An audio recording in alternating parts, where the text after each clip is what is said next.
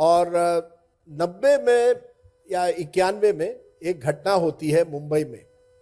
आ, cricket की pitch Wankhede stadium की cricket की पिच को खोदा जाता है। पाकिस्तान से मैच होनी है उसके कुछ दिन पहले शिव सैनिक वहाँ पहुँच जाते हैं और पिच की खुदाई करते हैं। तो मैं काफ़ी निराश था कि ये किस तरह की मराठी अस्मिता है। और किस तरह की पॉलिटिक्स है कि आप क्रिकेट पिच पे जाके पिच की खुदाई करते हैं क्योंकि आप नहीं चाहते हैं कि पाकिस्तान मुंबई में आए। आपको प्रदर्शन करना है, ये आपका हक है। लेकिन स्टेडियम में जाकर पिच की खुदाई करना गलत है। और तब थोड़ा यंग था आपकी तरह तो थोड़ा जज्बा भी था। तो मैंने कहा, चलिए, इस पर ना ना केवल रिपोर्टिंग करेंगे, पर एक लंबा लेख लिखा। और जिसमें मैंने कहा कि ये शिवसेना जो है बाला साहेब ठाकरे ने मराठी अस्मिता को धोखा दिया है इस तरह से क्रिकेट पिच की खुदाई कर कर। दिस इज़ नॉट महाराष्ट्र अस्मिता, ये कहीं उसमें बैठता नहीं। तब हिंदुत्व तो था ही। तब बाला साहेब ठाकरे धीरे धीरे मराठी अस्मिता से हिंदुत्व की तरफ़ जा रहे थे। राम जन्मभूमि का माहौल था, उन्नीस सौ की बात है। लेकिन मैंने उस आर्टिकल में ज़्यादातर मराठी अस्मिता पर बात की। यानी लिखा तब टीवी भी नहीं था डिजिटल भी नहीं था कंप्यूटर भी नहीं थे। आ, तो वो आर्टिकल काफ़ी चर्चित हुआ क्योंकि उस आर्टिकल को मराठी में महाराष्ट्र टाइम्स ने ट्रांसलेट किया। और आ, होते होते ये हुआ कि बाला साहेब ठाकरे की एक दिन बाद एक रैली थी। पहले तो लोग काले झंडे लेकर कुछ शिवसैनिक टाइम्स ऑफ़ इंडिया के ऑफ़िस पहुँच गए। वो तो अपनी अपनी बात है अपनी जगह है। उसके बाद बाला साहेब ठाकरे ने एक कहीं एक रैली में कहा कि ये राजदीप सरदेसाई जो है वो विंचू है विंचू। विंचू यानी स्कॉर्पियन। मराठी में स्कॉर्पियन हिंदी में क्या कहते हैं स्कॉर्पियन के लिए? बिच्छू। बिच्छू बिच्छू बिच्छू। राजदीप सरदेसाई बिच्छू है इसको खत्म करना चाहिए। मैंने कहा वेरी गुड यार. आपने अभी अभी आईटी सेल को उनकी फेवरेट क्लिप दे दी है। क्या?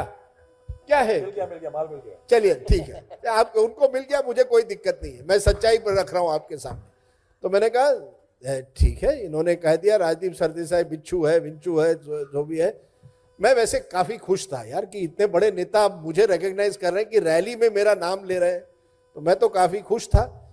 लेकिन जब वो ब्लैक फ्लैग्स मेरे ऑफ़िस आए तो मैं डर भी गया क्योंकि शिवसेना की तब एक ठोक शाही की भी राजनीति थी कि वो पत्रकारों को मार सकते हैं आ, कुछ भी हो सकता है।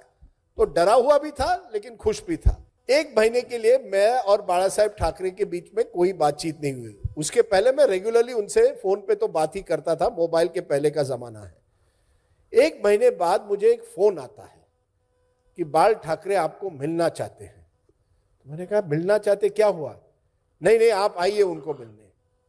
तो मुझे तो यहाँ तो शिव सैनिक काले झंडे दिखा रहे थे, गाली गलोच कर रहे थे, सोशल मीडिया नहीं था, लेकिन फिर भी उनके जो भी कार्यक्रम थे, वहाँ मुझे अटैक कर रहे थे। तो मैं बाल ठाकरे के घर पहुँच गया।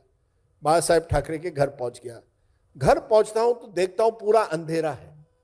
कोई नहीं तो मैंने कहा, कहाँ है साहब? आ रहे हैं, आ रहे हैं। आप यहीं रुकिए।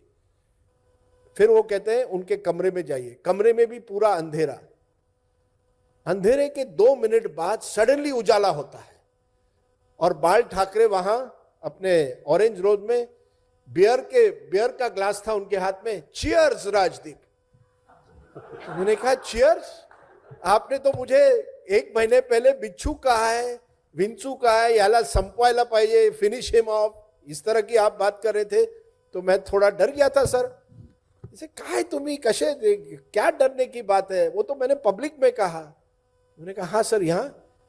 Rajdeep I am politician outside घर में आई एम पॉलिटिकल कार्टूनिस्ट यार, ये बड़ी अच्छी बात है यू आर पॉलिटिकल कार्टूनिस्ट तो मैंने कहा हाँ बाल ठाकरे ने कहा what I say in public is for my workers and for the people here you are my friend let's have beer अब बाल ठाकरे की एक खासियत थी कि आज की तारीख में बहुत कम पॉलिटिशियन है जो अगर बियर पिएँगे तो दुनिया को नहीं बताएँगे।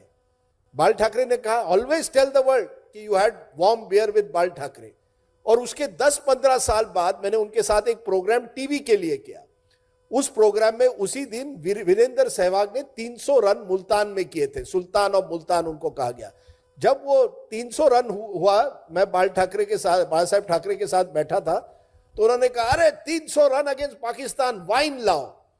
तो मैंने तुरंत कैमरामैन को कहा, यार, कैमरा रोक दो, वो अब हम लोग प्राइवेट कर रहे हैं।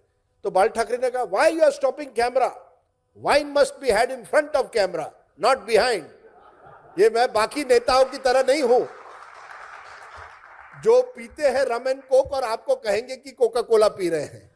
मैं जब वाइन पीऊँगा, दुनिया को पता चलना चाहिए, मैं वाइन पीऊँगा तो मैंने कहा, sir what wine will you have white और red he said I will have white wine because I am pure like white अब आप सोचिए, ये सब कैमरा पे हो रहा है। आज की तारीख में कुछ नेता हमारे ऐसे हैं जो कई चीज़ पर्दे के पीछे करते हैं, लेकिन दुनिया को नहीं दिखाना चाहते।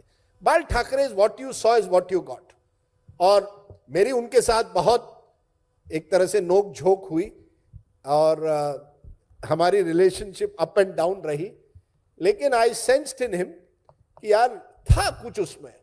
यू नो इतने साल अपनी पार्टी चलाना आसान नहीं होता है। पॉलिटिकल देखिए नेता नगरी में ना हम अक्सर नेताओं की ने, ने, ने, नेताओं को क्रिटिसाइज करते हैं लेकिन नेता असली नेता बनना आसान नहीं है बॉस तो Bal Thackeray is my story for the day क्योंकि जैसे मैंने कहा शुरुआत वहीं से हुई लाइफ में तो पहला प्यार नहीं कहूँगा बट पहला क्या कहें? फ़र्स्ट फाइट उसके बाद भी मैंने बहुत झगड़े किए हैं। मेडिसिन स्क्वायर गार्डन से लेके come दिल्ली तक पर वो